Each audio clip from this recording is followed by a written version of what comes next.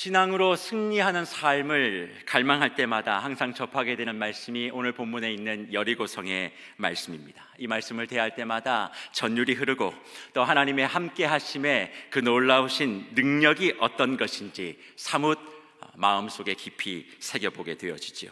하나님의 놀라우신 능력으로 세상을 깜짝 놀라게 해주신 이 사건, 세상 가운데 하나님이 유일하신 분이라고 하는 것을 선언해 주신 이 여호수아의 어, 여리고성의 사건은 지금도 우리의 마음을 시원케 하고 이 말씀을 대할 때마다 그런 은혜가 그런 기적이 그런 능력이 나의 삶 가운데 이루어졌으면 좋겠다라고 하는 마음을 가지게 됩니다. 오늘 여기에 계신 모든 분들도 우리 앞에 놓여 있는 여리고성과도 같은 모든 문제들 마음속에 답답하고 억울하고 눌려있는 모든 것들이 말씀과도 같이 무너지고 하나님의 대단한 능력으로 해결되고 정리되는 복이 충만하기를 간절히 주의 이름으로 축복합니다. 그런데 가나안의 첫 번째 전투이며 승리인 여리고성에 대한 이 스토리 과연 가나안군을 이긴 능력 혹은 그 위기 가운데 그것을 돌파해낸 승리만을 우리에게 기록하고 있을까요? 이미 애국과 그리고 수많은 아, 가나안 국들과의 전쟁, 바로와의 전쟁들을 통해서 하나님의 놀라우신 능력들을 보여주셨습니다. 그들의 전쟁과도 그들의 싸움과도 그들의 모든 다툼 속에서도 하나님의 놀라우신 능력을 보여주시면서 하나님이 이미 신중의 신이다. 하나님 중에 하나님이시다라고 하는 것을 말씀해 주셨습니다. 이미 수없이 그 승리를 보여주셨음에도 불구하고 하나님이 무엇이 부족해서 다시 이렇게 가나안 땅을 들어가는 이 시점 첫 관문인 이곳에서 승리의 모습을 또 보여주셔야만 했을까요? 광야에서 말로 다 할 수 없는 하나님의 기적 이미 보여줬습니다. 그리고 그 소식들은 이미 여러 루트를 통해서 그 민족들에게 퍼져나간 상황에서 굳이 한 번 더 승리가 무엇인지를 맛보게 하고자 하나님께서 여리고의 승리를, 여리고의 기적을 이스라엘에게 우리에게 보여주셨을까요? 이미 승리하신 하나님, 왜 굳이 반복해서 이런 모습을 이스라엘에게 그리고 지금도 광야를 걸어가고 있는 또 가나안의 승리를 원하고 바라는 저와 여러분들에게 말씀하고 계시는지 이 시간 말씀을 통해 한번 살펴보고자 합니다. 먼저 우리가 생각하는 승리입니다. 우리가 생각하는 승리 혹은 세상 가운데서 하나님을 믿지 않는 자들을 향한 그 능력이라는 것이 무엇이라고 성도님들은 생각하십니까? 하나님을 알지 못하는 이들과 경쟁하고 그들을 싸워 이겨서 하나님을 믿는 자로서의 승리라는 것, 저들을 무너뜨리고 저들을 이기고 그들이 있는 자리에 내가 올라서면 하나님이 우리에게 주시는 진정한 승리라고 말할 수 있겠습니까? 주님은 분명 우리에게 너희의 착한 행실로 하나님 아버지께 영광을 돌리게 하라 말씀하셨는데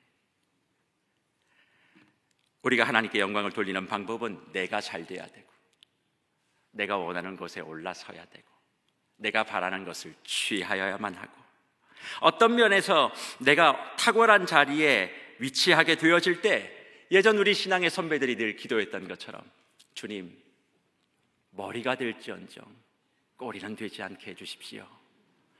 그 기도처럼 응답되어지면 우리는 성경이 말하고 있는 그 승리의 증인으로서 또 그 승리를 경험한 사람이 될 수 있는 것일까요?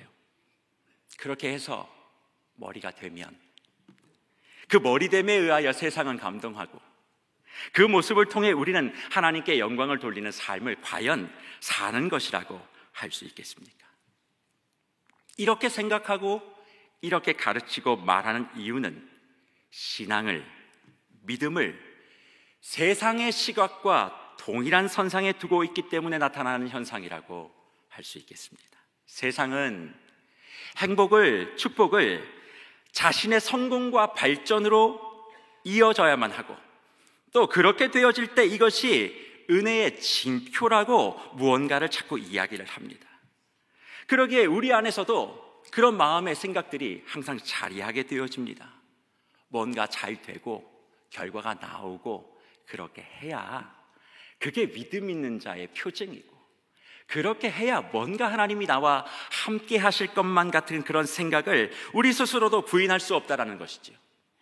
그런데 성경 어디에서도 믿음이라는 것이 신앙이라고 하는 것이 세상의 성공과 발전과 연결되어져 있다면 그리스도는 십자가를 지시면 안 되었습니다. 예수 그리스도는 골고다로 올라가시면 안 되었습니다. 오히려 화려한 성, 높은 황제의 보좌로 향해 올라가시는 것이 맞을 것입니다. 그러기에 믿음이, 믿음의 성경적 개념 혹은 승리의 성경적 개념은 성공도 아니요, 발전도 아닙니다. 성경이 말하는 믿음, 성경이 말하는 승리는 회복이라고 오늘 저와 여러분들에게 말씀해 주고 있습니다. 천지를 창조하시고 구원의 계획을 가지신 하나님은 이스라엘의 가나안 입성과 가나안 안에서의 전투 속에 분명한 목적과 계획을 가지고 계셨습니다. 그것은 이스라엘 백성을 가나안 땅에 들어가게 해서 세계 최고의 민족을 만들고자 함이 아니었습니다. 외적으로 세상적으로 좋아지는 것, 발전되는 것, 성공함을 통해서 멋진 모습을 만들기 위함이 아니라 거듭남을 통해 하나님의 구원의 그 역사를 통해서 이스라엘 백성들을 원래의 모습, 곧 창조의 모습으로 회복, 회복시키기를 원하셨고 가장 완벽한 인간의 상태였던 그 창조의 시간으로 이스라엘 백성들 돌이키기를 원하셨던 것입니다. 모든 것이 다 갖추어져 있어서 어떤 결핍도 없었던 그때, 바로 그때가 창조의 때 에덴 동산 위의 인간의 모습이었습니다. 하지만 잘 알고 있듯이 죄가 들어왔습니다. 죄가 들어오게 되어지자 인간은 기쁨과 환희와 웃음이라고 하는 그 동산을 떠나야만 했습니다. 그리고 다시 그 기쁨을 찾기 위하여 동산으로 돌아가려고 해도 화영검으로 그 돌아가는 길이 막혀졌고 그러기에 인간은 생명나무가 있고 기쁨이 있고 희락이 있고 만족이 있는 그 동산으로 다시 갈 수 없습니다. 그러기에 어떻게든 그 기쁨과 즐거움과 만족을 찾기 위하여 무언가 자꾸 대체하는 것이 생겨나게 되어집니다. 어떻게 하면 좀 더 만족을 얻을 수 있을까? 어떻게 하면 더 기쁨을 얻을 수 있을까? 이것저것 다 해보지만 되지 않지요. 결국 그 기쁨과 생명의 나무를 다시 회복하는 그때가 어딥니까? 성경은 밝히는데 계시록을 통하여 새 하늘과 새 땅이 완전히 회복되어지는 그곳에서 우리가 진정한 기쁨을 다시 회복하게 된다라고 말씀하고 있는 것입니다. 그러기에 창조와 새 예루살렘 사이에 위치한 이 가나안 땅의 여정, 광야의 여정을 통해 하나님은 십자가의 의미를 우리에게 말씀하고 있는 거예요. 어떻게 하면 그 기쁨이 만족되는지 아니? 어떻게 하면 네가 조금 더 하나님의 은혜 가운데 충만한 삶을 살아갈 수 있는지 아니? 어떻게 하면 하나님의 형상을 따라 하나님이 원하시는 모습으로 이 인생을 아름답게 살아가는지 아니? 라고 하는 그런 것들을 말씀해 주시고 나는 나의 백성을 세상적으로 발전시키고자 하는 마음이 결코 없다. 나는 너희를 다시 회복시켜서 내가 원했던 그 땅, 약속의 땅, 적과 꿀이 흐르는 그 땅, 희락의 땅, 기쁨의 땅에 함께 들어가고 싶다라고 말씀해 주고 이 사건들을 보여주고 계시는 것입니다. 그렇다면 여리고의 승리가 우리가 바라고 원하는 그런 능력과 승리의 대표적인 말씀이 과연 될 수 있겠습니까? 여리고성을 여리고성의 말씀을 조금 더 깊이 한 걸음 들어가 보시지요. 가나안 성의 첫 성이었던 여리고 성 그것이 무너진 것은 단순한 승전보를 위함이 아니라 하나님의 마음과 생각이 어떤 것인지 죄인된 우리가 회복되어서 하나님의 나라의 백성으로 살아가는 것이 무엇인지를 온 열방 가운데 보여주시고자 하시는 하나님의 선하신 계획이 있었다는 것입니다. 어떻게 여리고성이 무너졌는지에 대해서는 우리가 이미 수많은 설교를 통해 또 말씀을 읽음을 통해 잘 알고 있습니다. 제사장이 양념 나팔을 불면 여호와의 괴가 따릅니다. 그 뒤로 무장한 자들이 행군하게 되어지고 그리고 백성들이 침묵하며 따라가지요. 계속 하루에 한 번씩 엿새 동안 하다가 일곱째 되는 날 일곱 번을 돌고 여호와께서 이 땅을 주셨다라고 외치면 그 성이 무너졌다 성경은 말씀합니다. 그래서 여리고 성을 대하면 사모하는 것은 딱 한 가지입니다. 무너지는 것. 어떻게든 내 현실 가운데 당장 무너지지 않을 것 같은 그런 문제들, 그런 어려움들이 와르르 무너지고자 하는 그 신앙의 정점을 맛보고자 하는 마음이 저와 여러분들에게 다 있어요. 하나님 제발 이 문제 내가 이렇게 기도합니다. 해결해 주십시오. 승리하게 해 주십시오. 이 모든 것들을 다 정리해 주십시오. 그런데 우리가 바라는 이런 짜릿한 승리 이후에 하나님이 주신 명령 세 가지가 있다는 것 혹시 기억하고 계십니까? 그 승리하는 것에만 우리가 집중하지. 그 이후에 일어날 들에 대하여 주님께서 명령하신 그 내용들은 우리가 잘 기억하려고 하지 않습니다. 왜 그렇습니까? 승리하면 된 것이기 때문에 그렇습니다. 이기면 됐지. 뭘 목사님 다른 것을 이야기합니까? 그러나 하나님은 여리고의 승리가 무엇인지를 세 가지의 명령을 통해 우리에게 말씀하시는데 본문 여호수아 6장 17절 이하 18절에 있는 말씀입니다. 이 성과 그 가운데 있는 모든 것은 여호와께 온전히 바치되 기생 나합과 그 집에 동거하는 자는 모두 살려주라. 이는 우리가 보낸 사자들을 그가 숨겨주었습니다. 너희는 온전히 바치고 그 바친 것 중에서 어떤 것이든 취하여 너희가 이스라엘 진영으로 바치는 것이 되게 하여 고통을 당하지 당하게 되지 않도록 아니하도록 오직 너희는 그 바친 물건에 손대지 말라 말씀합니다. 그리고 26절 말씀에 이렇게 고백합니다. 여호수아가 그때 맹세하여 이르되 누구든지 일어나서 이 여리고성을 건축하는 자는 여호와 앞에서 저주를 받을 것이라. 그 기초를 쌓을 때에 그의 맏아들을 잃을 것이요 그 문을 세울 때에 그의 막내 아들을 잃으리라 하였더라 기록합니다. 세 가지의 명령이 무엇입니까? 라합과 그의 모든 가족들을 성 밖으로 이끌어내어 살려내라는 것입니다. 두 번째는 성 안에 있는 물건 중에 어떤 것도 손대지 말고 자기 것으로 취하지 말라는 것입니다. 세 번째는 여리고 성을 다시 건축하지 말라는 것입니다. 다시 건축하게 되면 반드시 저주를 받을 것이라 말씀합니다. 왜 라합과 라합의 가족들은 살려주고 성 안의 물건은 취하지 말고 여리고 성을 다시 쌓지 말라고 하나님 말씀하고 계시는 것일까요? 하나님의 창조의 동상에서 쫓겨난 인간에게는 말로 다 할 수 없는 고통 하나가 있었습니다. 그것은 다른 것이 아니라 하나님과 함께 할 때는 하나님 자체가 기쁨이었고 만족이었으나 죄가 들어오는 순간 우리의 내면 가운데 말로 닿을 수 없는 채울 수 없는 공허와 허무가 가득했다는 것. 그것은 성경이 증거하기도 하고 여기 앉아 있는 저와 여러분들이 증명하고 있는 사실이기도 합니다. 그러기에 인간의 첫 죄의 결과인 살인의 시초도 한번 생각해 보십시오. 나의 것을 받아주지 않는 것에 대한 불편함. 내 것이 아닌 다른 사람의 것을 받아들이는 것에 대한 불만과 시기와 질투가 시작이었고 그것은 지금도 이어져서 모든 재회의 근원은 상대에 대한 시기와 질투와 동시에 스스로에 대한 불평과 불만족들 그리고 그것을 채우기 위하여 욕심과 욕망으로 가득 차 있는 것이 우리가 살아가는 죄된 세상인 것을 우리는 잘 알고 있습니다.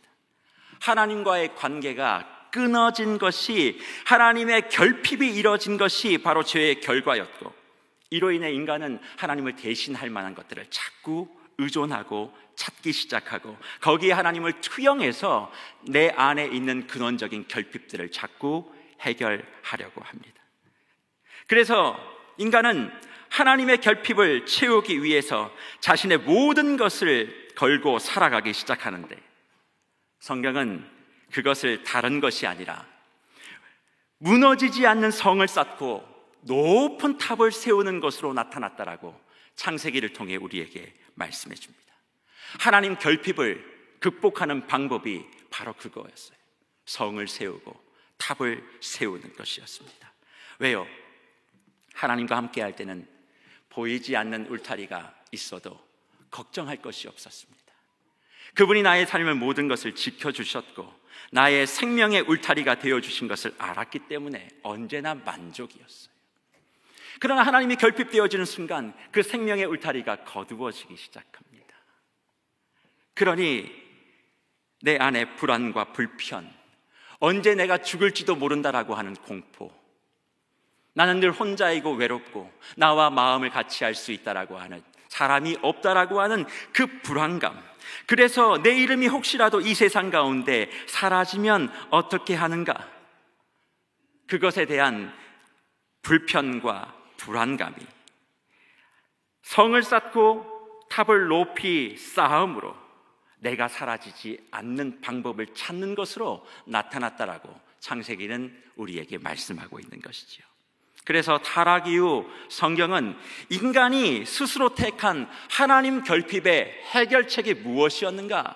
그것은 바로 애녹성이었고 바벨탑이었다라고 우리에게 증거해 주고 있습니다. 창세기 4장 16절 이하 17절 말씀을 한번 보시겠습니까? 가인이 여호와 앞을 떠나서 에덴 동쪽 롯 땅에 거주하다니 아내와 동침함에 그가 임신하여 에녹을 낳은지라 가인이 성을 쌓고 그의 아들의 이름으로 성을 이름하여 에녹이라 하니라 말씀합니다. 그리고 홍수 언약 이후에도 인간의 근본된 죄된 선택은 다시 이것을 선택하여 시행합니다. 창세기 11장 2절 이하 4절입니다. 이에 그들이 동방으로 옮기다가 신할 평지를 만나 거기 거류하며 서로 말하되 벽돌을 만들어 견고히 굽자하고 이에 벽돌로 돌을 대신하며 역청으로 진흙을 대신하고 또 말하되 성읍과 탑을 건설하여 우리 이름을 내고 온 지면에 흩어짐을 면하자 하였더니라고 말씀합니다. 그래서 만들어지고 구축된 것이 무엇입니까? 소돔과 고무라 성입니다. 창세기 13장 11절 이하 13절의 말씀입니다. 그러므로 롯이 요단 온 지역을 택하고 동으로 옮기니 그들이 서로 떠난지라 아브라함은 가나안 땅에 거주하였고 롯은 그 지역의 도시들에 머물며 그 장막을 옮겨 소돔까지 이르렀다 소돔 사람 소돔 사람은 여호와 앞에 악하며 큰 죄인이었더라 말씀합니다. 세 가지의 구절 속에 공통점을 발견하셨습니까? 하나님 결핍을 해결하기 위하여 인간은 자꾸 성을 쌓습니다. 탑을 세웁니다. 그런데 공통적으로 동쪽으로 자꾸 갔다라고 이야기를 합니다. 하나님의 기쁨의 동산에서 하나님의 결핍을 메우고자 그들은 언제나 동일한 방향을 선택했고 그 방향은 성을 쌓고 탑을 세워서 창조의 원래의 목적을 회복하려고 하는 것이 아니라 나를 지키기 위하여 나를 드러내기 위하여 성을 쌓고 탑을 세웠다라고 말씀하고 있습니다. 그래서 우리가 어려운 일들이 생길 때마다 우리의 생각을 사로잡는 그 한 방향 그것이 무엇입니까? 하나님을 의지해서 내 창조의 원래의 목적이 회복되기를 원한다가 아닙니다. 문제가 생길 때마다 그 문제를 통하여 내가 하나님을 좀 더 닮아가고 주님이 원하시는 모습으로 서 가겠다라고 하는 마음보다는 내가 반드시 이 모든 억울을 보상받을 거야. 내가 지금은 바닥이지만 내가 반드시 정상의 자리에 서서 너를 눌러줄 거야. 지금은 내가 부족하지만 또 지금은 내가 이렇지만 앞으로는 내가 이렇게 저렇게 되어져서 성공의 자리, 내가 원하는 자리에 올라가기만 하면 모든 것이 해결될 것이라고 생각하고 하나님이 원하신 그 모습을 형상하기에 집중하기보단 견고하고 높은 성과 탑을 세워 가장 높은 꼭대기에 내가 놓여지기 위하여 정신없이 달려가는 모습을 우리는 잘 알고 있습니다. 그런데 이 모습이 신앙이라고 하는 믿음이라고 하는 이름 아래에서도 동일한 모습을 보인다는 것을 과연 저와 여러분들은 부인하실 수 있으시겠습니까? 사실 피라미드의 꼭대기, 피라미드의 주인이 머물고 있는 그 파라오가 머무는 박은 피라미드의 중간에 위치하고 있다고 합니다. 정말 중요한 것은 꼭대기가 아님에도 불구하고 우리는 그런 것들을 생각하지 아니하고 오직 그 정상만을 강요하고 강요받습니다. 그리고 믿음이라고 하는 승리라고 하는 이름으로 변질되어서 그것이 신앙 공동체 안에 들어오게 되어지면 하나님의 은혜는 언제나 성공이어야만 합니다. 하나님의 도우심은 날마다 정상이어야만 합니다. 하나님이 나와 함께 하시는 것은 모든 것이 다 형통해야만 합니다. 그래서 인생에서 풍상을 경험하고 화상과도 같은 삶을 살게 되어지면 그것을 이상한 것이라고 자꾸 여깁니다. 기도가 부족해서 그런 건 아닐까? 저 사람이 믿음이 부족해서 그런 것은 아닐까? 그래서 공동체 안에 사업이 실패하거나 진하게 실패하거나 질병의 문제가 생기거나 아이의 문제가 생기거나 가정에 생각하기도 어려운 일들이 벌어지게 되어지면 마치 은혜에서 패배한 사람처럼 난 믿음대로 살지 않은 사람이라고 하는 그런 자책들 그것이 내 가슴을 가득 차고 공동체조차도 그것을 어려워하고 진심으로 보듬어 주지 못하다 보니 믿음의 공동체 안에서도 자꾸 성공의 성들과 탑들만이 쌓여가는 것을 우리는 부인할 수 없는 것입니다. 그래서 하나님은 이 모든 인간의 근원적인 문제를 회복하기 위해 한 사람 아브라함을 부르셔서 믿음의 삶을 살게 하십니다. 믿음의 삶이 뭔 줄 아느냐? 그걸 보여주신 거예요. 그 아브라함의 살게 하신 믿음의 삶의 원리가 무엇인 줄 아십니까? 성탑 원리가 아닌 장막 원리였습니다. 아브라함에게 살아내라고 하시는 하나님이 말씀하시며 하나님이 요청하시면 그에 따라 움직이고 또 멈추라고 하시면 멈춰서는 그 장막 원리. 그게 믿음의 원리라는 거예요. 어디로 가야 될지에 대한 목적지도 없습니다. 남들이 볼 땐 멋진 성도 아닙니다. 아무것도 아닌 것 같지만 그저 할 수 있는 것은 하나님을 의지하는 것. 무엇이 옳은지도 모릅니다. 무엇이 맞는지도 모릅니다. 중요한 건 지금 이 시간 하나님이 나에게 원하시는 것이 도대체 무엇일까? 그것을 묻고 또 묻고 주님이 원하시는 방향대로 내 발걸음을 옮겨 보는 것. 바로 그것이 믿음의 원리라 말씀하시는 것이지요.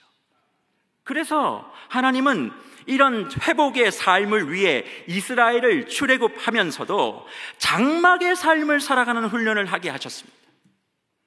성탑의 원리로 이스라엘을 한 번 훈련하신 적이 있습니까? 장막의 원리를 훈련하시며 하나님 중심의 삶을 살아갈 것을 요청하셨고 그럴 때 너희가 진정으로 만족하고 기뻐할 수 있는 참된 사람의 모습을 회복할 수 있다. 이것이 하나님의 백성다움이다라고 말씀해 주시는 것입니다. 주변의 강대국의 높은 성과 확고한 자기망의 땅을 가지고 있는 그런 것들을 부러워하지 말고 왕이 없음을 성이 없음을 바라보지 말라고 하셨습니다. 그럼에도 이스라엘은 왕을 탐했고 성을 부러워했습니다. 심지어는 하나님은 성막에 거하기를 원하셨는데 사람은 성전을 세웠고 주님은 그 성전까지도 하나님 중심이 되지 아니하고 인간의 욕심과 성공에 이용당하는 것을 보시며 그 성전을 십자가로 무너뜨리시고 그리스도 예수의 보혈로 다시 세우셨습니다. 그러기에 여리고 성을 무너뜨린 하나님의 마음은 다른 것이 아닙니다. 하나님의 백성으로서의 전진 혹은 승리는 세상도 원하고 바라는 그 쌓아진 성, 피라미드의 꼭대기를 무너뜨리는 것입니다. 하나님의 사람이 발전되어서 가장 좋고 높은 자리에 올라서는 것이 가나안의 의미가 아님을 오늘 우리에게 말씀해 주시는 거예요. 적과 꿀이 흐르는 땅에 들어가서 내 마음껏 누리는 것이 축복된 삶이 아니라고 말씀합니다. 믿음으로 기도하고, 믿음으로 충성하고, 믿음으로 훈련하는 것은 세상을 누리기 위함이 아니라 세상을 돌보기 위함이고 이를 위해선 믿는 우리가 하나님의 형상, 창조의 형상을 회복하는 길밖에 없고 그것을 회복하려면 내 안에 하나님 중심으로 삶을 살아가는 장막의 원리가 아닌 성탑의 원리를 가감없이 이 시간 무너뜨리는 것을 통해서만 가능하다라고 말씀하고 있는 줄 믿습니다. 왜 신앙인들이 믿지 아니하는 세상 사람들이 잘하는 것을 부러워하십니까? 예수를 믿지 않는 사람들이 더 잘할 것을 왜 부러워하세요? 우리는 예수를 믿지 못하는 사람들이 하지 못하는 것을 잘해야 되는 사람인 줄 믿습니다. 그것이 무엇입니까? 사랑이고, 용납이고, 용서고, 하나됨입니다. 세상 사람들이 원하고 잘하는 것, 그거를 탐하고 그거를 얻기 위하여 하나님의 이름과 믿음을 이용하는 사람들이 우리가 아니에요. 우리는 세상 사람들이 하지 못하는 그것. 원수도 사랑하고. 이 세상의 누림을 구하고 주님 앞에 기도하는 것이 아니라 어떻게 하면 이 세상을 잘 돌볼 수 있을까요?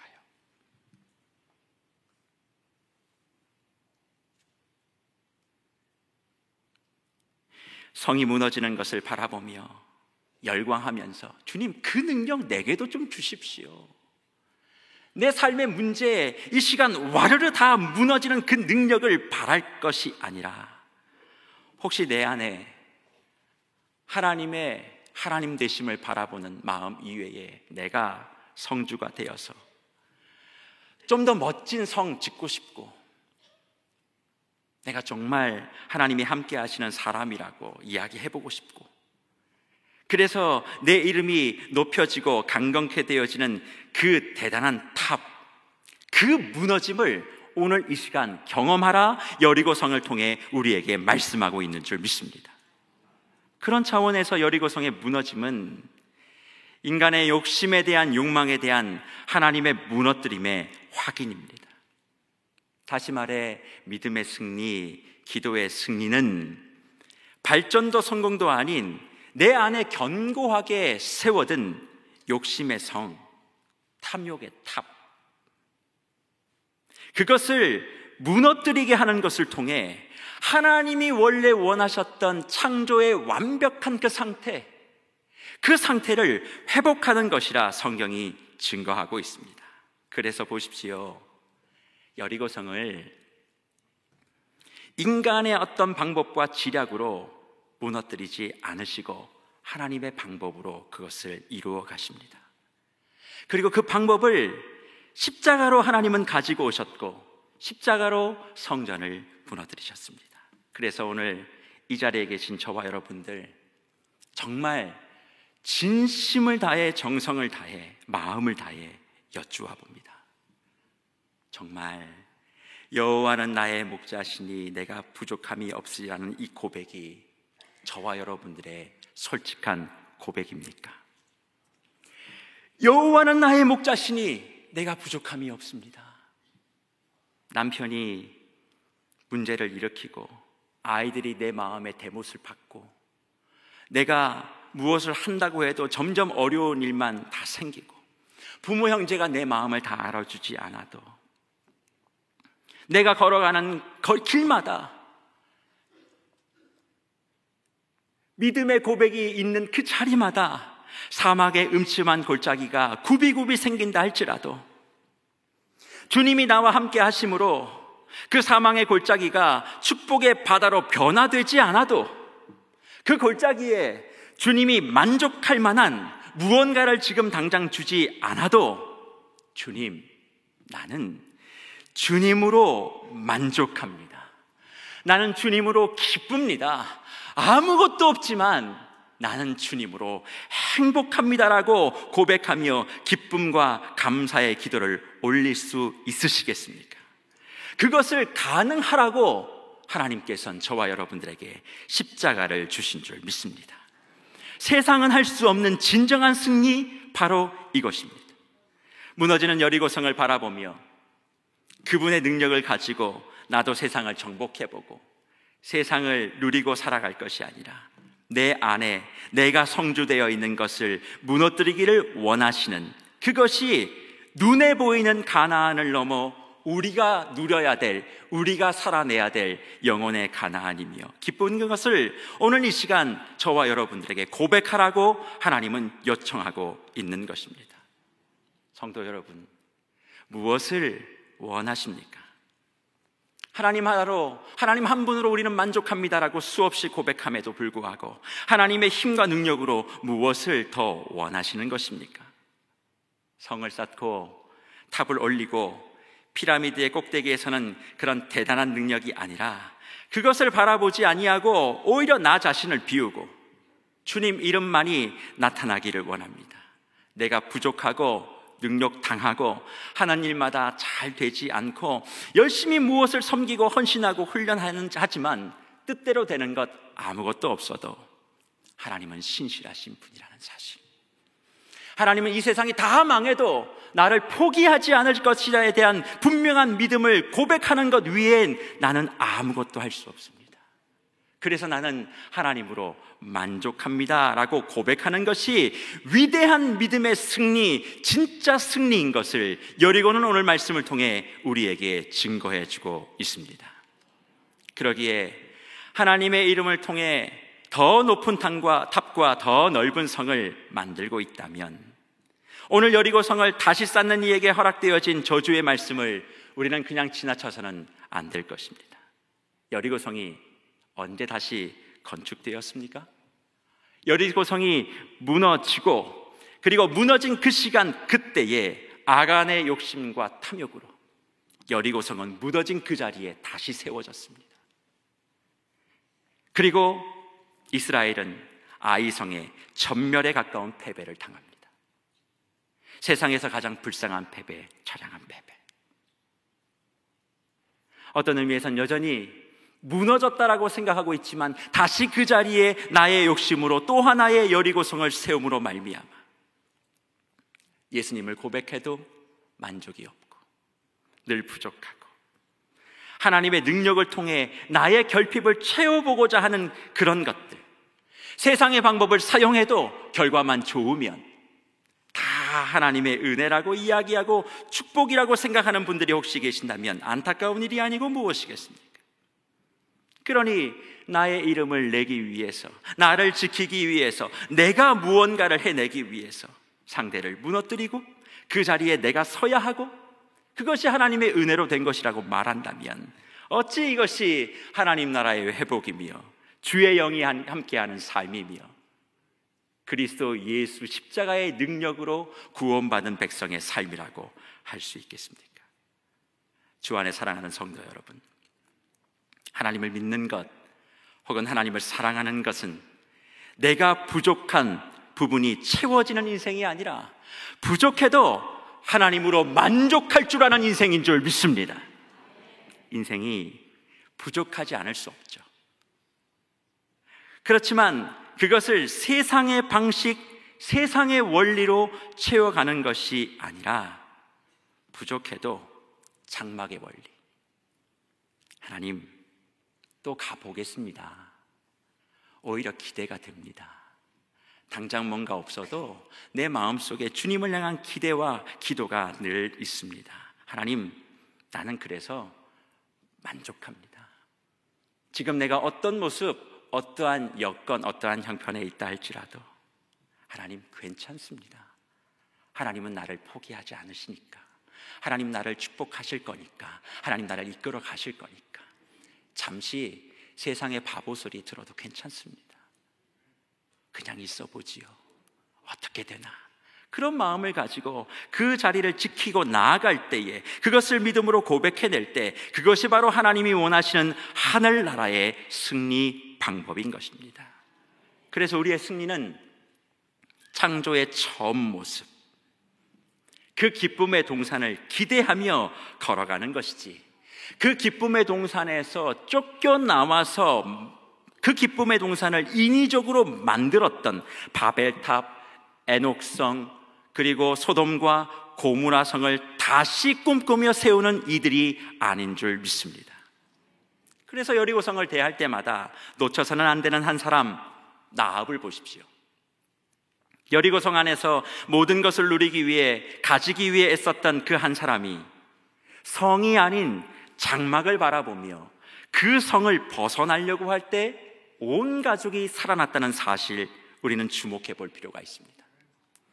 라합을 통해서 성경은 바로 그것이 십자가의 위대한 능력이고 믿음의 회복이며 위대한 승리임을 말씀하고 있는 것입니다. 결국 성을 버리는 것, 성을 무너뜨리는 것, 세상을 누리기 위함이 아니라 돌보기 위하여 십자가를 지고 따라가는 것이 믿음이고 이것이 하나님과의 관계를 회복해내는 진짜 승리임을 우리에게 말씀하시는 줄 믿습니다.